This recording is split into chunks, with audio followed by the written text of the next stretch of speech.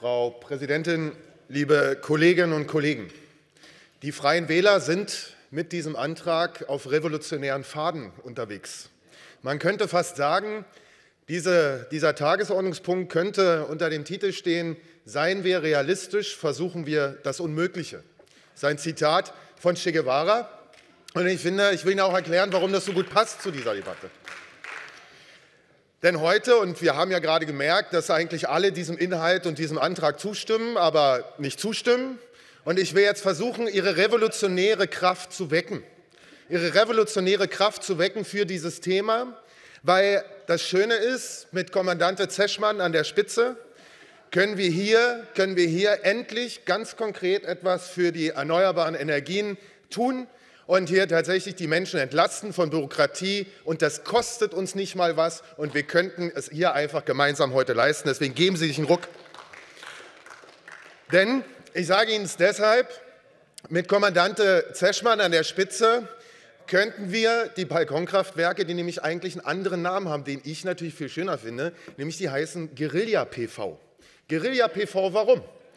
Weil jeder von uns, jeder und jeder, der sich das leisten kann, kann sich eine solche Anlage einfach an den Balkon hängen. Und das passiert ja schon. Im Übrigen, egal was auf Bundesebene beschlossen wird oder nicht, an der Stelle, will ich auch mal sagen. Deshalb passiert das schon. Was tun die Menschen damit? Erstens, sie versorgen sich selbst. Sie machen sich unabhängiger von den Netzbetreibern, von den Stromkonzernen. Das begrüßen wir. Und natürlich geht es am Ende auch darum, dass wir die Umwelt schützen wollen. Und deshalb Guerilla-PV. Deutsch, in Deutschland, die revolutionären Kräfte sind natürlich etwas, ich sag mal, in der Defensive, so will ich es mal bezeichnen. Da heißt es natürlich kein Guerilla-PV, sondern steckerfertige Erzeugungsanlage. Und deshalb sage ich Ihnen, egal wie wir es nennen, wir brauchen hier die Regelung, die die Freien Wähler vorgeschlagen haben und auch unsere Regelung, um dieser Revolution tatsächlich zum, oder dieser Revolution Nachdruck zu verleihen. Und ich sage Ihnen auch, ich sage Ihnen auch, warum wir, ich sage Ihnen auch, ja, Herr Keller, auch für Sie, weil nämlich das Problem ist, es wurde jetzt viel über Zähler mit Rücklaufsperre gesprochen, die ähm, das Problem tatsächlich deutlich stärker noch zutage fördern. Was natürlich helfen würde an der Stelle, wären Kleinspeicher. Jetzt kann ich sagen, gerade mit den Grünen an der äh, Landesregierung wurde ja das Kleinspeicherprogramm leider abgeschafft. Also insofern haben Sie dieser Revolution da einen Bärendienst geleistet. Deswegen sollten Sie wenigstens diesem Antrag hier heute zustimmen, um die Guerilla-PV wirklich flächendeckend äh, zu organisieren, weil auch ohne Förderung wird es am Ende auch nicht funktionieren. Und deshalb habe ich auch für Sie ein schönes Zitat, liebe grüne Fraktion, auch von Che Guevara. Eine Revolution ist wie ein Fahrrad. Rollt sie nicht vorwärts und bleibt sie stehen, fällt sie um. Deshalb stimmen Sie diesem Antrag zu. Und wissen Sie, wissen Sie, diese Revolution ist äh, nicht etwas, was nur der Kommandante Zeschmann sich ausgedacht hat oder die Linksfraktion, sondern diese Revolution hat eine Massenbasis eine Massenbasis, über die wir schon gesprochen haben heute.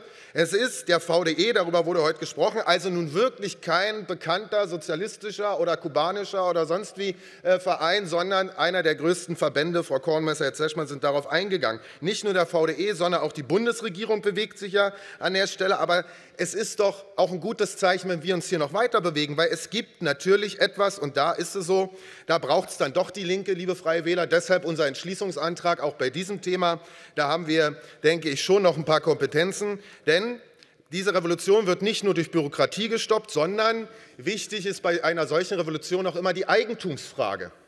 Und hier die Eigentumsfrage ist entscheidend, weil nämlich Mieterinnen und Mieter können nicht einfach so, ähm, können nicht einfach so, können, warte, ich komme gleich zu den Eigentumswohnungen, können nicht einfach so die Balkonkraftwerke ranhängen, sondern brauchen die Zustimmung ihrer Vermieter. Richtig. Wenn sie aber Eigentümer sind, können sie das selber machen. Problem ist nur, wenn sie mehrere Eigentümerinnen und Eigentümer haben, dann müssen alle zustimmen. Ehe man das hinkriegt, wird es schwierig. Es gab sogar dafür eine Initiative von acht Bundesjustizministern, äh Quatsch, von acht Landesjustizministerinnen äh, und Ministern im letzten Jahr hier das Wohnungseigentumsrecht und das Mietrecht äh, des Bundesgesetzbuches zu ändern und diese Norm festzuschreiben. Leider ohne die brandenburgische Justizministerin. Das finde ich schade. Deshalb hier nochmal unser Entschließungsantrag. Auch Frau Hoffmann kann hier revolutionäre Taten vollbringen für die Energiewende.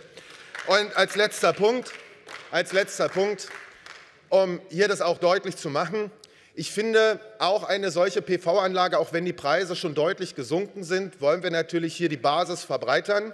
Und deshalb denke ich, geht es auch darum, dass wir hier Förderprogramme brauchen. Mecklenburg-Vorpommern hat eins, Schleswig-Holstein hat ein Förderprogramm für Balkonkraftwerke, für Guerilla-PV. Auch hier hatten wir verschiedene Anträge. Wir haben das Brandenburg-Paket. Lassen Sie uns also hier die Mittel dafür nutzen. Lassen Sie uns hier die Mittel dafür nutzen, hier ein Förderprogramm aufzulegen. Das wäre ein richtiger Weg. Und deshalb will ich enden mit einem Zitat, auch von Che Guevara. Worte, die nicht mit Taten übereinstimmen, sind unwichtig. Und deshalb stimmen Sie bitte beiden Anträgen heute zu. Vielen Dank.